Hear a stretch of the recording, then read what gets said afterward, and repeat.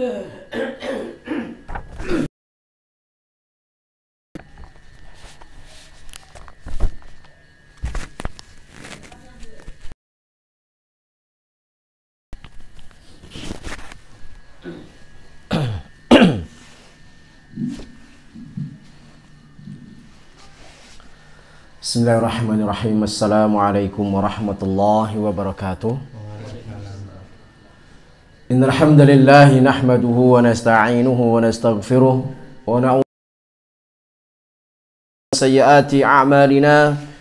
من يهده الله فلا مضل له ومن يضلل فلا هادي له. أشهد أن لا إله إلا الله وحده لا شريك له وأشهد أن محمدا عبده ورسوله. يا أيها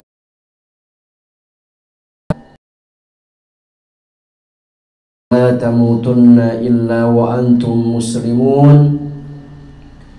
يا أيها الناس اتقوا ربكم الذي خلقكم من نفس واحدة وخلق منها زوجها وبث منهما رجالا كثيرا ونساء واتقوا الله الذي تساءلون به والأرحام إن الله كان عليكم رقيبا. يا أيها الذين آمنوا وقولوا قولا سديدا يصلح لكم أعمالكم ويغفر لكم ذنوبكم ومن يطع الله ورسوله فقد فاز فوزا عظيما. أما بعد فإن أصدق الحديث كتاب الله وخير الهدي صلى الله عليه وسلم. وشر الأمور محدثاتها فإن كل محدثة بدعة وكل بدعة ضلالة وكل ضلالة في النار جماعة صلاة مغرب رحمني Warahimakumullahu jami'a Alhamdulillah Kita bersyukur kepada Allah subhanahu wa ta'ala Di malam hari ini Allah masih untuk senantiasa memperbanyak amalan ketaatan baik berupa lisan baik itu berupa amalan ya yeah ataupun kita beramal soleh dengan harta semampu yang kita bisa. Di awal-awal waktu yang mulia yaitu bulan Dhul Hijjah di 10 awal Hijjah bulan Dhul Hijjah itu mulia lebih mulia lagi tatkala masih di 10 awal bulan Dhul Hijjah dan kemuliaan bulan Dhul Hijjah ini Allah subhanahu wa ta'ala di surah At-Taubah ayat yang ke-36 Inna iddata syuhuri indallah إن عدة الشهور عند الله اثنا عشر شهرا في كتاب الله يوم خلق السماوات والأرض منها أربعة حرم ذلك الدين القيم فلا تظلموا فيهن أنفسكم. نعم وقاتلوا المشركين كافة كما يقاتلونكم كافة. واعلموا أن الله مع المتقين. telah mengkhabarkan di surah At-Taubah ayat 36 menyebutkan tentang mulianya bulan Dhul Hijjah Inna iddata syuhur Sesungguhnya hitungan bulan. Allah di sisi Allah itu ada ithna asyara syahra ada 12 bulan. Jadi hijriyah sama masehi itu setahun sama 12 bulan Ya, 12 bulan, cuman jarang ketemu berbarengan. Jadi ya. Kalau ini bulan Dhul Hijjah, bulan akhir Hijriah. Bulan ke-12. Ini kalau Masehi bulan Juli. Bulan Juli. Ya kan? Tidak ketemu. Dari sisi bulannya jarang ketemu, juga dari sisi tanggalnya juga jarang ketemu. Ya, tetapi jumlahnya setahun sama. Bulan Masehi dari Januari sampai Desember 12. Bulan Hijriyah dari Muharram sampai Dhul 12. Nah, setahun ada 12. Yauma khalaqas samawati wal ard hari di mana Allah Subhanahu wa taala menciptakan langit dan bumi minha 12 bulan. Dalam setahun itu ada ada empat bulan yang dimuliakan bulan yang diharamkan manusia di saat itu berbuat kemaksiatan-kemaksiatan berbuat dosa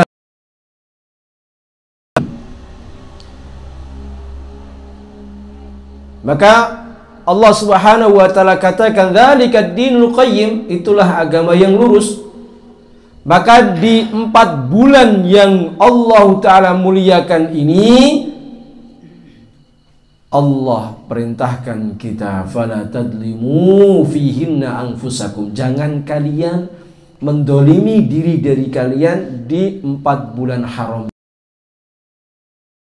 Mendolimi diri dengan menjerumuskan diri ke dalam kemaksiatan. Itu mendolimi diri. Ya dengan kemaksiatan dengan dosa itu akan menjerumuskan manusia. Satu dia tidak akan mendapatkan kebahagiaan karena dosa. Dia tidak akan semangat dalam beramal soleh karena dosa. Ya dia akan diliputi kegelisahan karena dosa.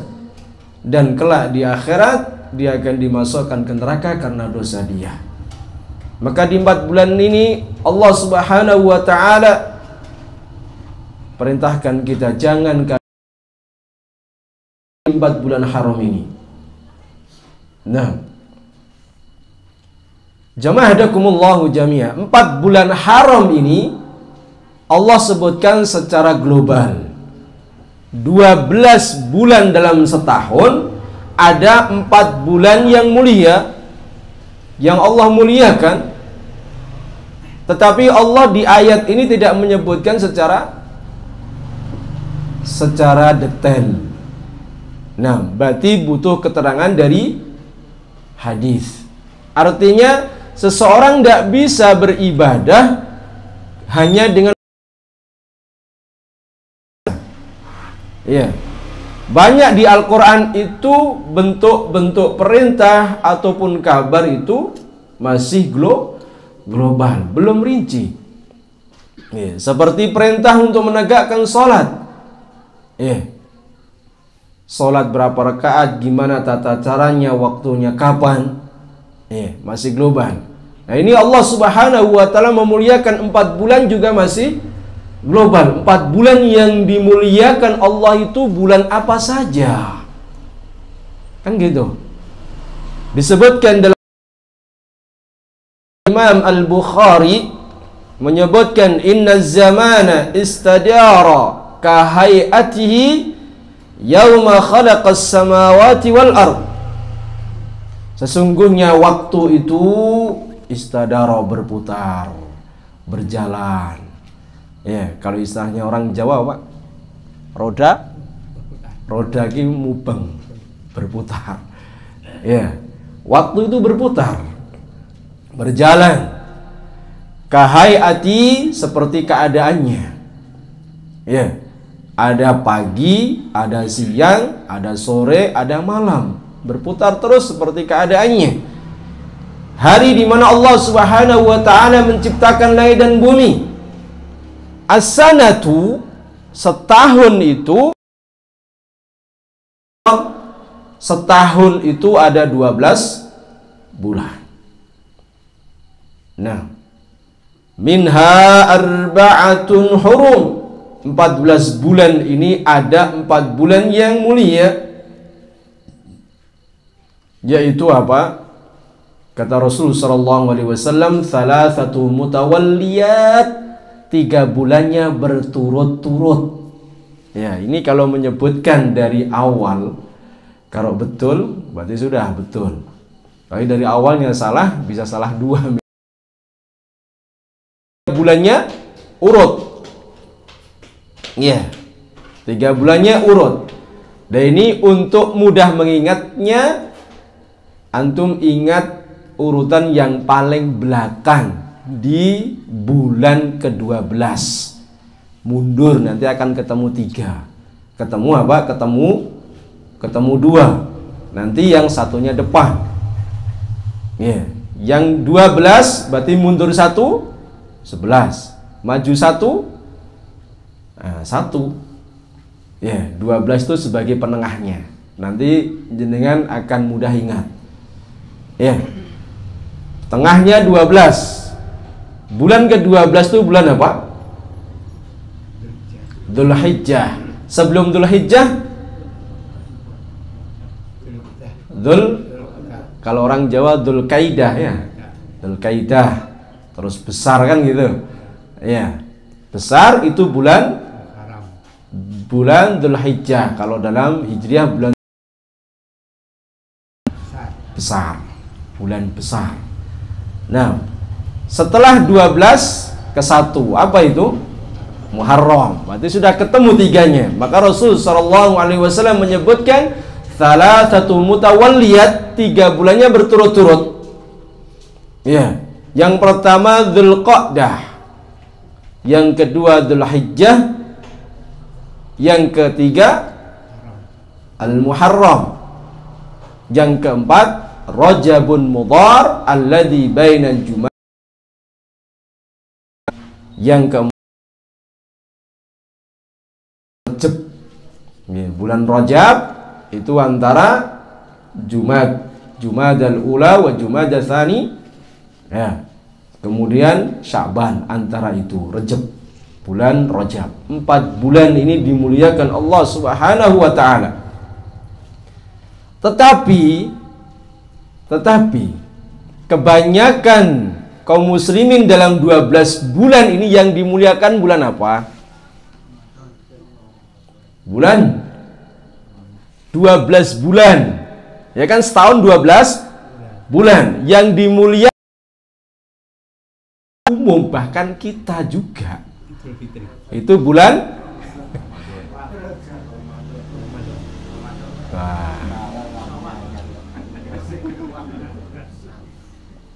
Ya, ini ikhtilaf antum aja ikhtilaf ini beda-beda. Satu bodoh mergo siji koncone akeh rame pangane akeh klambine anyar tunggale do teko kan gitu. Apalagi? Nah ana sing rejeb ngapa rejepan Pak? Ya. Dalam setahun kaum muslimin barat dalam setahun itu biasa yang paling banyak dimuliakan dengan ibadah adalah bulan Ramadan. Ya. Yeah. Padahal Pak Ramadan tiga bulannya di mana paling mulia? Kan 30 hari sebulan. Ya. Yeah. 30 hari. Ini kalau dibagi 3, 10 depan, 10 tengah, 10 belakang. Bulan Ramadan paling mulia di? Terakhir. 10 nah dan sekarang pertanyaannya. Bentuk pemuliaan jenengan 10 hari terakhir di bulan Ramadan ngapa? Sebagai tanda kalau jenengan memuliakan 10 terakhir kalau cuma sekedar tahu 10 hari terakhir itu mulia tapi tak tinggal ngorok terus ini kan berarti nggak memuliakan tak tinggal dolan terus ya saya hidupkan malam tapi hidupkannya dolan terus kalau dolan ya gadang ya gadang sampai pagi tapi dolan ini bukan pemuliaan Nah, pemuliaan kaum muslimin di 10 terakhir dengan apa? Ya. Yeah. mulai. Bahkan sebagian sampai mengerjakan Qiyamulailnya di di akhir malam. Ya kan? Jam 2, setengah 3, jam 3. Ya kan? Itu sebagai tanda kalau dia akan 10 hari terakhir di bulan Ramadan karena di situ ada malam Lailatul Qadar. Nah, lah padahal 10 awal bulan Dhul Hijjah itu kemuliaannya tidak kalah dengan 10 hari terakhir bulan Ramadan tidak kalah. Sama-sama mulia. Hanya beda waktu. Ya. Beda waktu. Kalau bulan Ramadan di 10 hari terakhir itu mulianya di waktu malam karena di situ ada malam Lailatul Qadar. Kalau 10 hari awal bulan Dzulhijjah itu ada hari-hari yang dimuliakan. Ya. Dari tanggal 9 kita disunahkan puasa terus. Ya. Kalau ndak bisa puasa terus, ya puasa berlubang-lubang. Ini puasa bisa ndak kayak Dawud. Kalau ndak puasa terus tiga hari empat hari berhenti. Ya semampu kita banyak puasa dari tanggal 1 sampai tanggal 9 kalau 10 itu madang. Udah waktunya makan minum karena apa? Lebaran pun nggak boleh puasa. Eh. Nah, itu mulia di awal. Kemudian tanggal 10 itu hari muslimin semua menyembelih hewan korban. Tentu tidak ada ibadah sebesar itu kecuali cuman ada di tanggal 10 bulan Dzulhijjah. Maka pertanyaannya kapan penyembelihan terbesar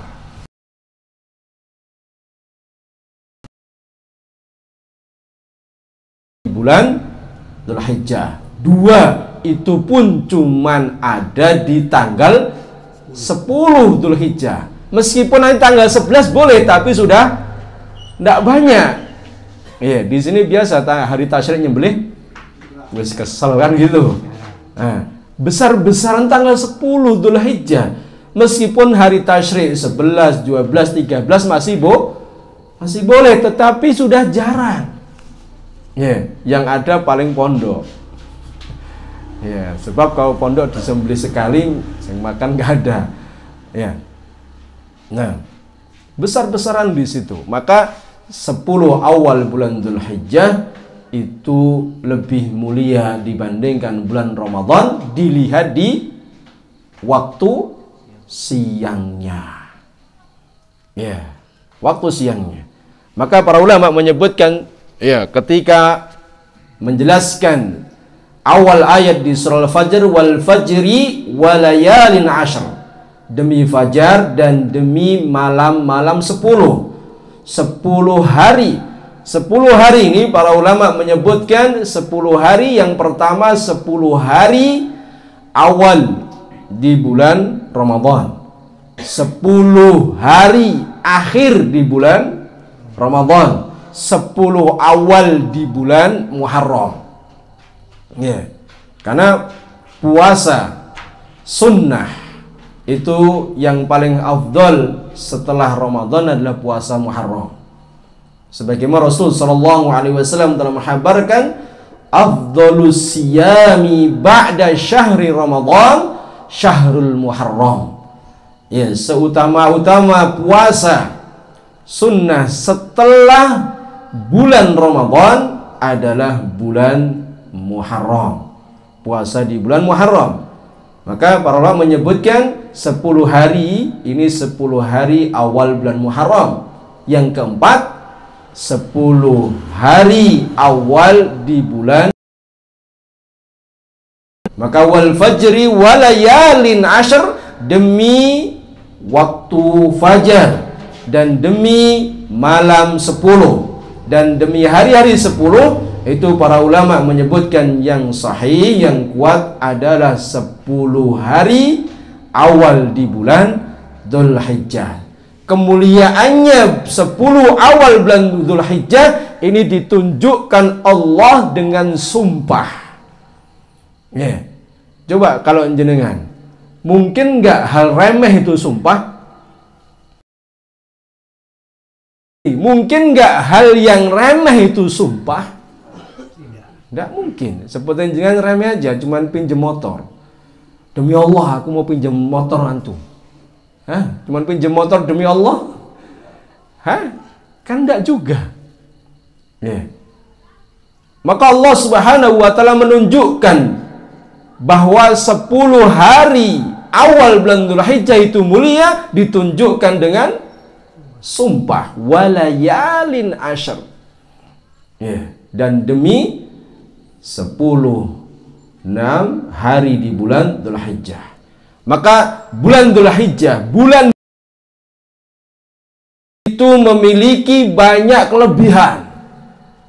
Di antara kelebihan bulan Dhul Hijjah itu adalah penyempurnaan Islam. Islam itu disempurnakan di bulan Dzulhijjah. Nah, coba bayangkan ulama Yahudi saja tahu. Eh, ulama Yahudi itu tahu kalau Islam itu disempurnakan dengan satu ayat di bulan Dzulhijjah. Nah, sebagaimana disebutkan Rasul Shallallahu Alaihi Wasallam tentang kisah bagaimana mulianya bulan Dzulhijjah di mana waktu itu? Umar bin Khattab radhiyallahu taala anhu disebutkan dalam asar Abdullah bin Umar bin Khattab dalam riwayat Bukhari. Ada seorang ulama Yahudi itu bertanya kepada Amirul Mukminin Umar bin Khattab radhiyallahu taala anhu. Nah bahwa dia menunjukkan tahukah di situ di kitab kalian itu ada satu ayat. Turun kepada agama kami kata Yahudi pada kami hari itu akan kami jadikan sebagai hari raya. Ya. ayat ini kalau turun pada agama Yahudi ya, kepada agama mereka hari turunnya ayat itu akan dijadikan sebagai hari hari raya maka Umar bin Khattab bertanya, ayat apa itu? Yeah. Maka ulama Yahudi mengatakan al-yauma akmaltu lakum dinakum wa atmamtu alaikum ni'mati wa raditu lakumul islam madina. Hari ini telah aku sempurnakan agama kalian dan aku sempurnakan nikmat untuk kalian dan aku ridhoi agama ini untuk kalian. Setelah dibacakan ayat itu oleh ulama Yahudi, Umar bin Khattab langsung menjawab, "Saya tahu betul ayat itu turun di mana." Tahu betul. Nah, berkenaan dengan apa? Nah, ini Yahudi tahu. Ayat ini turun di mana? Di di Arafah di saat Nabi mengerjakan haji haji wada, haji perpisahan, haji terakhir Nabi Shallallahu Alaihi Wasallam. Karena tanda sempurnanya Islam itu di antaranya dicabutnya Nabi Shallallahu Alaihi Wasallam. Maka ayat ini turun itu di saat Nabi mengerjakan haji terakhir, haji perpisahan, haji wada. Ya, Berarti di bulan apa? Itu bulan bulan ini bulan mulia, bulan sempurnanya Islam. Ya. Kemudian yang kedua, yang kedua bulan Dzulhijjah ini mulia dilihat dari sisi penyembelihan. Di mana di hari itu kaum muslimin banyak menumpahkan darah untuk korban. Ya, tidak ada hari-hari yang paling banyak menumpahkan hewan sembelian kecuali di hari Dzulhijjah di hari tanggal Hijjah. Ya. Nah, meskipun mungkin tukang jualan dia bilang, "Oh, ini paling banyak penyembelihannya." Berapa? Cuman di situ saja. Tidak seluruh dunia. Dan penyembelihan sepakat. Sepakat sembelihannya disembelih hanya bolehnya setelah sholat Id. Ya. Yeah. Harinya tanggal 10, waktunya setelah sholat Id. Karena dicicil nggak boleh. Ya. Yeah ya biar nyepet ke laku nyepet ke gawe disembelih sebelum sholat subuh. Wis sih ya beli semua nanti habis sholat id nembe ngelati. Karpe kan nyepet ke gawe. Ini nggak boleh. Ya. Nah. Kemudian berikutnya mulianya bulan Dhul Hijjah ya mulanya bulan Dhul Hijjah ini kaum muslimin disunahkan untuk puasa Arafah di tanggal Dhul Hijjah. Nah, Rasulullah sallallahu alaihi wasallam menyebutkan dalam hadis riwayat An-Nasa'i, "Saumu Asyura yukaffiru sanatal madiyah wa saumul Arafah yukaffiru sanatain al-madiyah wal baqiyah." Puasa tanggal 10 Ashura. Ya, puasa Ashura nah itu menghapuskan dosa setahun yang telah lalu. Dan puasa Arafah tanggal 9 Dhul Hijjah ya tanggal 9 Dhul Hijjah itu menghapuskan dosa dua tahun.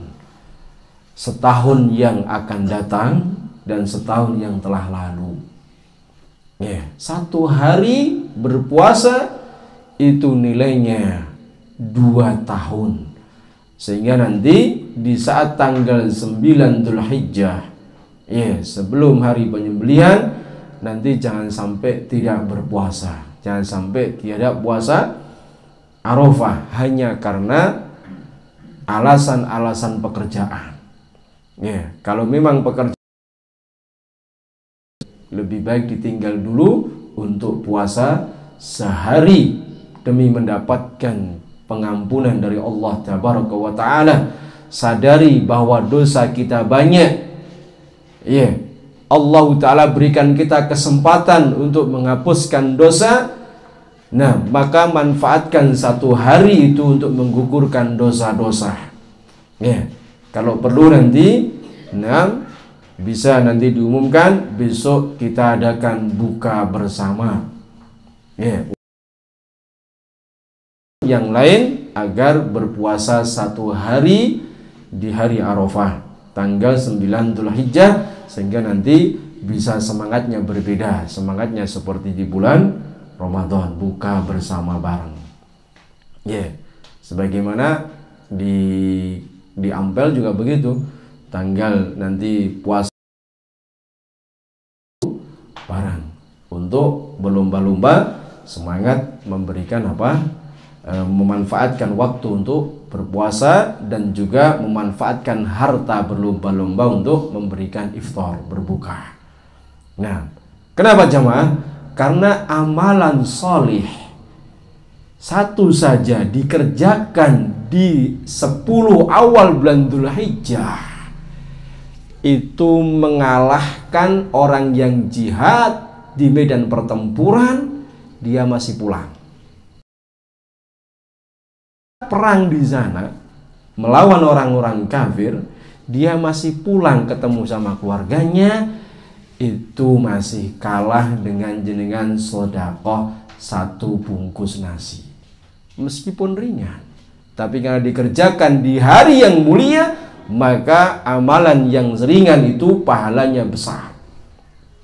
Sebagaimana Rasul Shallallahu Alaihi Wasallam menyebutkan dalam hadis dari sahabat Abdullah bin Abbas radhiyallahu taala anhu riwayat Al Imam Al Bukhari, "Ma min ayyamin al amalu salihu ahabbu ila Allah min hadhil ayyamil ashr."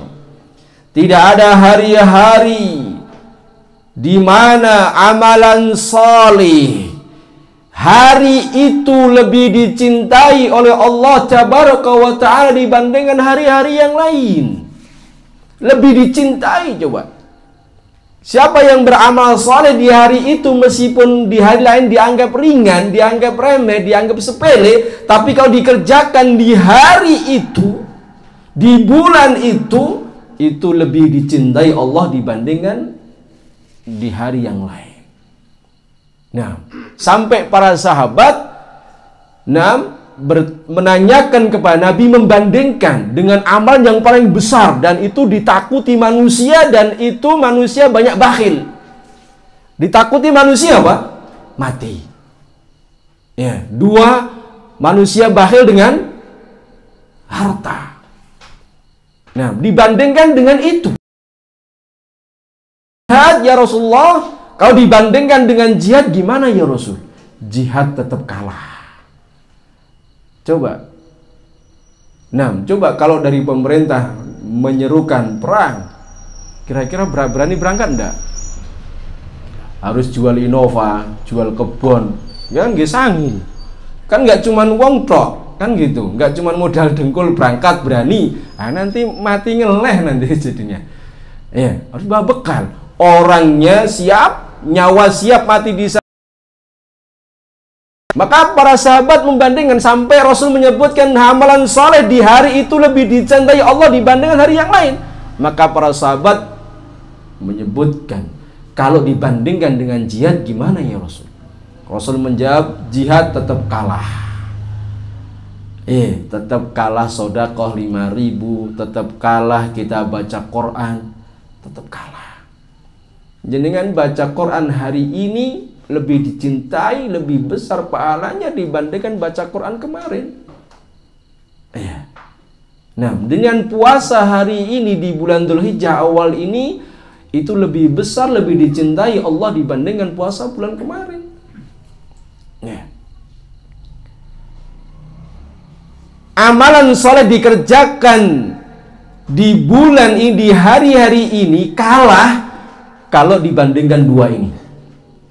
Rasul menyebutkan illa rajulun kharaja bi nafsihi wa malihi walam yarji min dzalika bi Kecuali orang seorang laki-laki karena perempuan gak boleh jihad.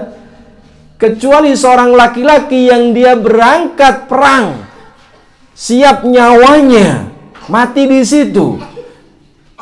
Iya. Yeah kecuali seorang laki-laki yang dia berangkat jihad dengan siap jiwa dan hartanya dan tidak kembali. Hartanya dirampas. Dua ini baru bisa mengalahkan bacaan Quran kita di hari ini. Baru bisa mengalahkan puasa kita di hari ini. Baru bisa mengalahkan sodakoh kita di hari ini. Coba. Siapa yang berani jihad mati di sana mesti mikir gimana anakku, gimana ini kan gitu. Nah, itu kalah dengan amalan-amalan soleh di saat ini. Ya, yang mengalahkan cuma dua, dia mati di medan tempur, hartanya dirampas sama sama musuh. Itu aja. Kalau masih perang di sana pulang, ya assalamualaikum, abi pulang, alhamdulillah, itu masih kalah. Padahal perjalanan jauh, Ya, pisah dengan anak istri, harta dibawa. Kalau masih pulang dengan jiwa raganya, apalagi hartanya itu malah muda karena dapat kalah dengan amalan soleh yang kita kerjakan saat ini. Apakah dengan hadis ini kita masih kurang semangat beramal soleh di 10 awal bulan Dhul Hijjah? Apakah masih kita samakan dengan bulan-bulan yang lalu? Jangan. kesempatan kita beramal saleh saat ini semampu kita baca Quran, berbuat baik, sodako, puasa, kiraatul Quran, zikir. Nah, aman apa yang akan kita lakukan di saat kita berada di 10 awal bulan Dzulhijjah? Karena tinggal sedikit. Kalau tanggal 10 jadi penyembelihan. Yeah, tanggal 10 itu sudah hari korban kita sudah sholat berarti tinggal malam Kamis ini malam Jumat malam Sabtu ya tinggal hari-hari itu ya meskipun nanti ada tanggal 10 ada amalan-amalan terkhusus maka di situ disunahkan untuk mengerjakan amalan-amalan soleh meskipun ada masih ada kesempatan nah yang pertama apa berzikir banyak berzikir Nah, dan zikir itu ada zikir mutlak, ada zikir muqayyad. Zikir mutlak itu zikir tidak ada kaitannya dengan waktu, bebas. Mau kapan pun. Nah, tidak terikat. Itu namanya zikir mutlak, bebas. Waktunya bebas, kapan pun. Tetapi Perhatikan tempat antum berzikir. Jangan sampai nanti di tempat-tempat yang tidak pantas berzikir Berzikir. Ya Seperti masuk kamar mandi sambil zikir Tidak boleh. Nah waktunya bebas. Ya sambil duduk bisa Subhanallah Tok Allahu Akbar Tok La ilaha illallah. Ya Antum duduk bunder berapa Dengan banyak berzikir Ya Baik. Maka amalan itu lebih dicintai Allah Tabaraka wa Ta'ala. Maka sampai dikatakan Ibnu Rajab Al-Hambali beliau mengatakan idza kana ahabba ilallah fahuwa afdalu indah. Kalau amalan-amalan itu lebih dicintai Allah, berarti amalan itu lebih afdal dibandingkan yang lain. Kalau beramal sekarang meskipun ringan, meskipun sepele dibandingkan bulan kemarin, anggaplah kita sekarang cuman infak itu cuman gambar pedang. Berapa? Gambar pedang itu berapa? Cuman seribu. Itu lebih dicintai, lebih afdal dibandingkan antum kemarin infak merah. Kalau secara angka itu lebih besar merahnya. Ya kan? Selisih berapa angka? dua nol. Iya kan? Ini seribu ini seratus ribu. Ya kalau dilihat besaran angkanya lebih besar yang kemarin. Tapi kalau dilihat dari si waktunya lebih afdol lebih dicintai sekarang meskipun sedikit. Ya maka kalau amalan-amalan itu dicintai Al-Hambali berarti amalan di saat itu lebih afdol, lebih utama eh dilakukan. Eh, lebih afdol di sisi Allah tabaraka wa taala. Ya. Kemudian jamaah dakumullahu jami'a, eh amalan yang bisa kita lakukan yang lain Nah, yang lain selain daripada zikir, nah, yaitu dengan kita apa? Kita memperbanyak untuk berpuasa. Berpuasa. Ya, karena tanggal 1 sudah lewat, dua lewat, tiga lewat, ya, empat lewat, lima kemarin tadi ini enam. Ya, sudah enam Dzulhijjah. Masih ada kesempatan besok tanggal 7 ada tanggal 8 tanggal 9 masih ada tiga hari kalau kita mau berpuasa. Nah perbanyak untuk berpuasa. Yeah. berpuasa di sisa-sisa awal dari bulan Dzulhijjah. Nah kalau memang karena faktor beratnya satu pekerjaan ya yeah, maka jangan sampai nanti di tanggal sembilannya tidak berpuasa. Pekerjaan yang berat sekarang lebih kalah pekerjaannya. Ya udah karena berat saya kerja. Ya tapi jangan jangan sampai nanti tanggal 9 itu beratnya pekerjaan menjadikan kita terhalangi tidak berpuasa satu hari. Tanggal 9 Dzulhijjah cuman ada setahun sekali. Dan itu kita diberi kesempatan. Semoga besok umur kita sampai sana karena tidak ada jaminan Ya, betapa banyak orang yang kemarin itu berharap berdoa yang tahu keutamaan bulan Dzulhijjah dia berdoa ya Allah pertemukan umur saya dengan bulan Dzulhijjah. Ya, ternyata Allah tidak berikan kesempatan itu. Allah tidak kabulkan waktu itu. Sehingga sebelum bulan Dzulhijjah Allah sudah ambil. Nah, semoga Allah sampaikan kita sampai 6 di 10 awal bulan Dzulhijjah kita banyak beramal soleh di bulan itu. Nah, maka muliakan bulan itu dengan beramal soleh semampu kita. Ya, minimalnya kalau memang tidak bisa, ya jauhi kemaksiatan. Ya, jangan amal soleh nggak bisa, kemaksiatan dikit ke jangan.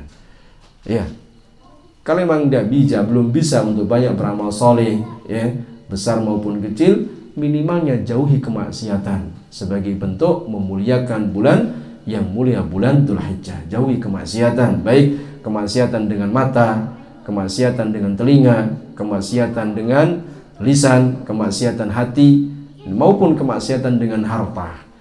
Ya, bagaimana kemaksiatan dengan harta? Harta kita kita pakai untuk berbuat maksiat.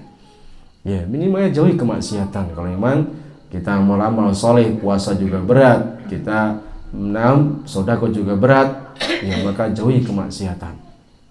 Nah, kemudian berikutnya jemaah hadakumullah jami'ah amal yang bisa kita lakukan yaitu tilawatul Quran, baca Quran.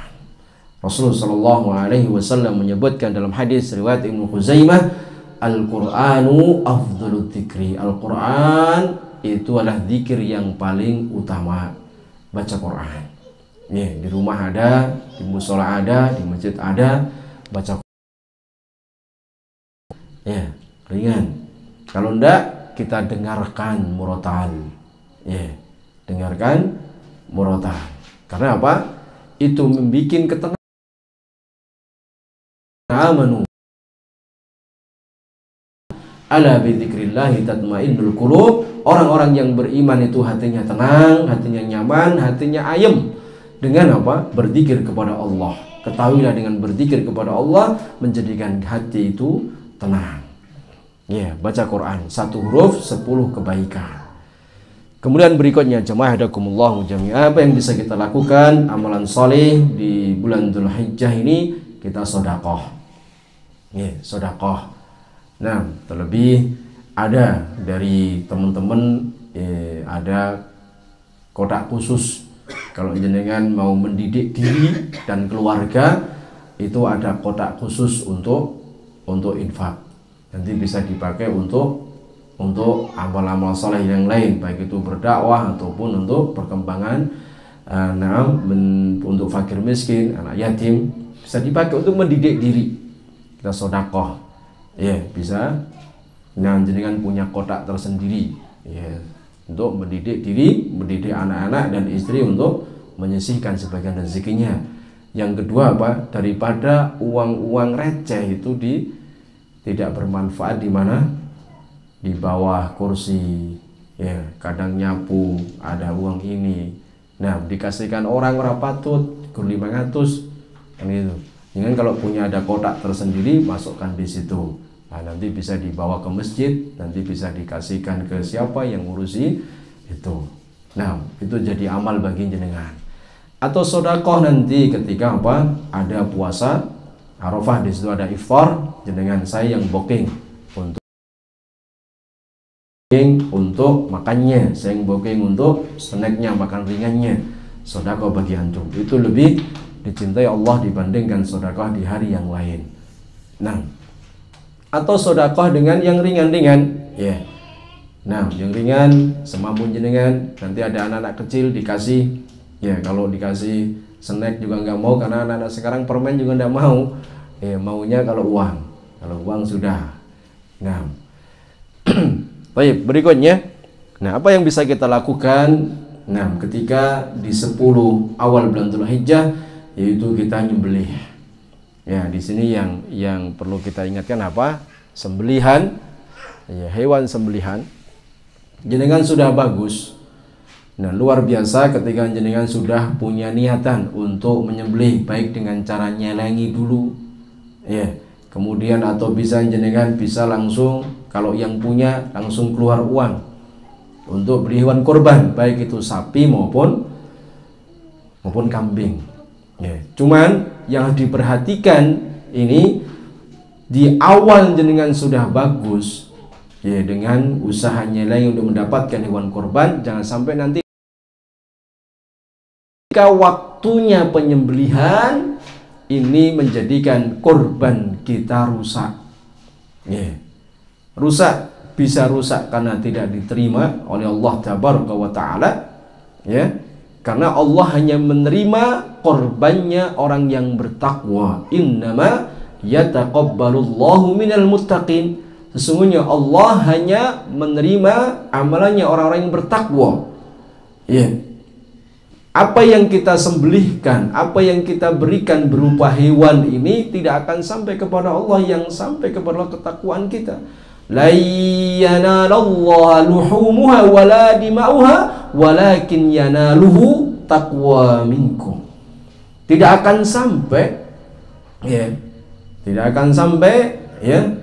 La yanalallaha luhumuha bahwa daging-daging ya darah yang kita alirkan daging yang kita korbankan itu tidak akan sampai kepada Allah yang sampai kepada Allah itulah ketakwaan kita tatkala kita nyembelih. Takwa itu apa? Dasar ilmu menjauhi larangan atas dasar ilmu. Bagaimana perintah penyembelihan sudah dicontohkan Nabi. Apa yang harus dijauhi di saat kita nyembelih juga sudah dicontohkan Nabi Shallallahu Alaihi Wasallam. Ya, jangan sampai nanti di akhir dari penyembelihan itu banyak kegagalan, tidak sampai finish Ya, yang pertama apa? Yang pertama di saat kita nyembelih, kewan disampaikan di situ diperhatikan jagalnya. Ya, diperhatikan jagalnya. Ya, makanya yang disunahkan menyembelih siapa? Yang disunahkan menyembelih yang paling afdal menyembelih hewan korban itu siapa? Yang berkorban. yang lebih utama. Boleh diwakilkan, tapi jangan sampai keislamannya kalah dengan jenengan. Iya. Jenengan coba sholatnya gimana? Minimal sama jenengan. Jangan sampai wakilnya sholatnya kalah dengan jenengan. Iya, masa wakilnya lebih parah? Iya, jenengan sholat sudah bagus. Iya, akidah sudah bagus. Tapi diwakilkan yang keislamannya itu di bawah jenengan. Meskipun itu sah-sah saja, Pak. Tapi apa? Ingat, ini penyembelihan setahun sekali kita cari yang terbaik supaya korban jadi diterima. Maka hati-hati cari jagal. Ya, jangan asal dapat jagal. Satu, jangan sampai jagal itu sholatnya nggak terjaga. Ya, sholat lima waktu aja nggak genep. Ya. Yang kedua, seandainya genep pun waktunya juga nggak jelas ngerjakannya. Ya, nggak diperhatikan waktu ngerjakannya. Ya. Atau jagal yang dia senang minum homer. Ya, jagal yang fasik jangan. Maka minimal kalau jenengan mewakilkan jagal hewan kurban jenengan, minimalnya sederajat dengan jenengan. Sholatnya, ya, ibadahnya, ya, akidahnya. Jangan sampai di akhir ini penyembelihannya justru Nah, berkorban dan ini banyak kaum muslimin yang tidak diperhatikan. Yang penting dapat jagal. Yang kedua, jagal yang tahu ilmu jagal. Ya. Yeah. Jadi gimana tata cara penyembelihannya? Ya, sebab kemarin sampai kita tahu sendiri yang nyembelih kita, yang nyembelih saya sendiri. Tetapi di situ ada jagal yang nunggui karena dia mau selak membeli apa? Kulit sehingga masih kecil-kecil-kecil, masih gerak banter sapinya. Itu sudah dikeleti, dipotong kepala. Bilang jangan, ini nggak boleh. Ya, nggak boleh. Maka tahu tata cara penyembelihannya. Apalagi jagalnya musyrik. Eh, apalagi jagalnya nggak sholat. Apalagi jagalnya jelas-jelas dia itu apa? Jelas-jelas dia sama sekali nggak sholat karena dia kerja.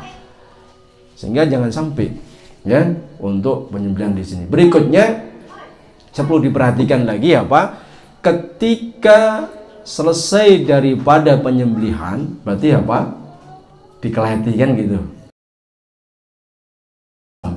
pemilik hewan korban itu memberikan upah dari hewan korban kepada siapa? Jagal. Ya, kalau jangan mau ngopai itu ambil kantong sendiri, jangan mengambil dari sedikit pun dari hewan korban.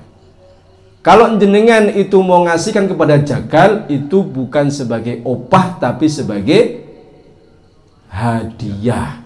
Bukan sebagai uang lelah. Bukan sebagai untuk ini wes kesel tak opai kepala tak opai kulit tak opai kaki. Jangan. Kalau sebagai opah sebagai uang lelah atau sebagai kerja jangan diambil sedikit pun dari hewan korban. Ya. yeah. Hewan korban demikian juga jangan sampai panitia hewan korban itu ya yeah. Karena panitia itu statusnya sebagai pembantu meringankan beban si korban. Ya, kecuali jenengan dapat sedekahan dari mana? Pemilik hewan korban. Tapi kalau jenengan sendiri besok kita pokoknya sembelih dimasak sih ke panitia. Itu hewan siapa? Ya, ini yang enggak dibenarkan. Ya, kecuali si sahibul korban itu memberikan sedekah Bisnis pokoknya kambingku terserah tak serah ke panitia, terserah bebas panitia. Ya, sebagai sedekah dari saya pokoknya bebas. Ya. Nah, ini beda.